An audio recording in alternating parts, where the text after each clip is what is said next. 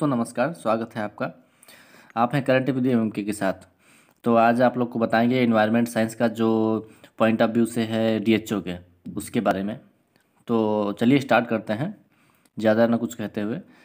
सबसे पहले बायोडाइवर्सिटी क्या होती है? तो बायोडाइवर्सिटी मतलब जैव विविधता। तो ये इसका शब्द का प्रयोग वाल्टर जी रोजन ने सबसे पहले किया था।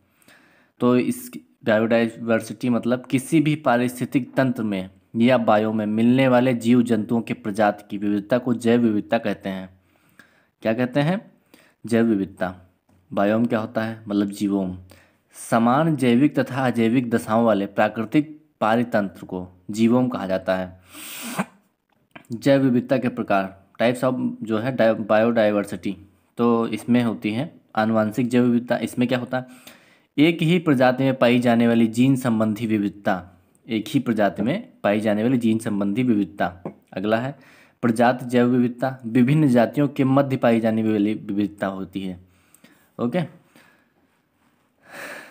अगला पॉइंट है विश्वत रेखी वर्षावन को जैव विविधता का हॉट स्पॉट कहा जाता है। विश्वत रेखा के जो पास है, इधर जो है और इधर, दोनों तरफ़ जो है तो क्योंकि यह विश्व का सर्वाधिक जैव विविधता वाला पारिस्थितिक तंत्र होता है तो विश्वत रेखा जो है उसके आसपास जितने क्षेत्र हैं तो वहाँ पे जैव विविधता बहुत ज़्यादा पाई जाती है। सब, इसका आप जो है सबसे अच्छा एग्ज़ाम्पल ले सकते हैं, अमेजन जो जंगल हैं उनसे।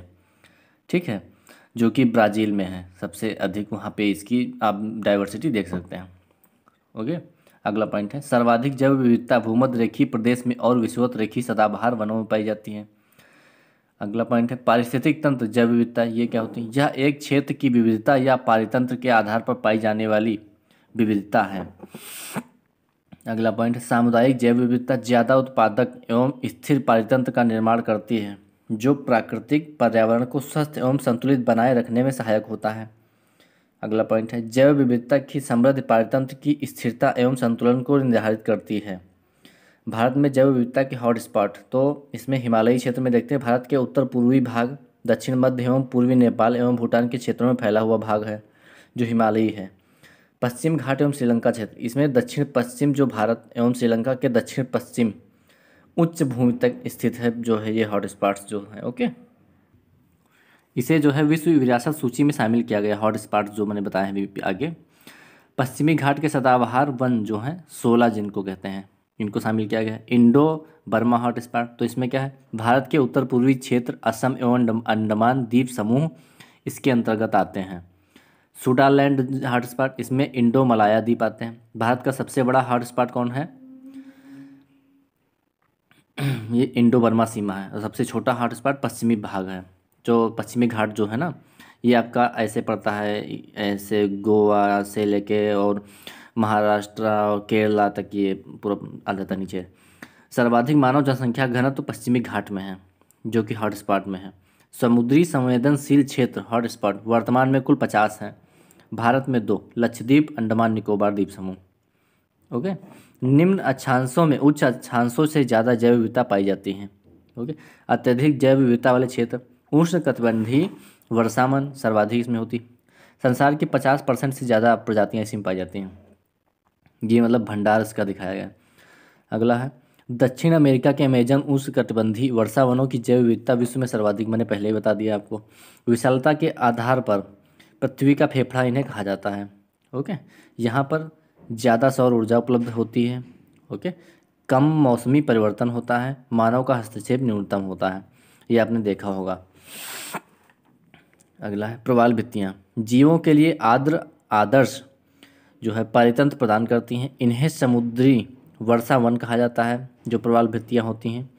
विश्व में सबसे बड़ी जो प्रवाल भित्ति हो ऑस्ट्रेलिया की ग्रेट बैरियर रीफ है। और भारत में कहाँ पाई जाती हैं? तो भारत में भी काफ़ी जगह, जैसे गुजरात तट पे पाई जाती हैं। और आपका ये तमिलनाडु में भी थोड़ा बहुत है, सबसे ज़्यादा गुजरात में है और ये आपका वेस्ट बंगाल के पास है। ओके? आर्द्र भूमिया। तो इसमें मैंग्रोव वन होते हैं। जलमग्न रहकर लवड़ी पर्यावरण में अपना पोषण एवं संवर्धन करते हैं। ओके? सर्वाधिक जैव विविधता ये बता चुके हैं, भूमध्य रेखी प्रदेशों में पाई जाती है, न्यूनतम ध्रुवों के निकट पाई जाती है, यानी कि जो साउथ पोल, नॉर्थ पोल है, ओके? सर्वाधिक जैव विविधता वाला महाद्वीप कौन सा है? अफ्रीका महाद्वीप। यहाँ पे सर्वाधिक, क्योंकि तीनों जो रेखाएँ हैं, वो अफ्रीका महाद्वीप से गुजरती हैं, ये आपको पता होना चाहिए, ओके? जैव विविधता ह्रास के कारण क्या है? तो इसमें प्राकृतिक कारण पहले आपको बताते हैं। ज्वालामुखी उद्गार, जलवायु परिवर्तन, ओके? तो जलवायु परिवर्तन वैसे मानव क्षेपित भी होता है, दोनों तरीके से होता है। सूखा एवं अकाल, पृथ्वी उल्का पिंड की टक्कर, ओके? तो मानव जनित में होता है प्राकृतिक आवासों का विनाश, आवासों का विखंडन वन्य जीवों का अवैध शिकार, झूम कृषि, औद्योगिकरण, निर्वनीकरण। ये हो गए कारण इसके, ठीक है? छह कारण है इसमें टोटल आवास विनाश, जैव विविधता के ह्रास का मुख्य कारण है। अगला है, विदेशी जातियों के प्रवेश से जैव विविधता का क्षय होता है, जैसे कि आपका लेंटाना कैमरा है। तो ये आपका, क्या कहते हैं खरपतवार है। तो ये विदेश से आ गया था भारत में, जो कि यहाँ पे जो है अपना विकास कर रहा है। तो ये भी एक प्रकार का हैरास कर रहा है। ये स्थानिक प्रजातियों को नष्ट कर देते हैं। फॉर एग्ज़ाम्पल ये देखिए, मैंने बताया है अभी, अमेरिकी गेहूँ के साथ आयातित कांग्रेस या गाजर घास। मैक्सिको से लाया गया लेंटाना कैमरा ओके? कीटनाशक और ग्लोबल वार्मिंग भी जैव विविधता नष्ट होने का कारण है। जैसे कीटनाशक में पस पच्चीस से ग्लोबल वार, वार्मिंग का नतीजा है टाइगा वन ओके? भारत का सबसे बड़ा वानस्पतिक उद्यान है श्री वेंकटेश्वर तिरुपुर। प्राकृतिक संरक्षण के लिए अंतर्राष्ट्रीय संघ IUCN ओके? स्थापना पाँच अक्टूबर 1948 को हुई थी। मुख्यालय इसका ग्लांट में है। ग्लांट बोले तो स्विट्जरलैंड में पड़ता है आपका। विश्व का सबसे पुराना एवं सबसे बड़ा वैश्विक नेटवर्क है ये। सरकारी और गैर सरकारी जो है दोनों संगठनों के इसमें सदस्य होते हैं और इसे संयुक्त राष्ट्र महासभा का पर्यवेक्षक का दर्जा भी प्राप्त है। यह संयुक्त राष्ट्र का अंग लेकिन नहीं है। ये भी याद रखिएगा।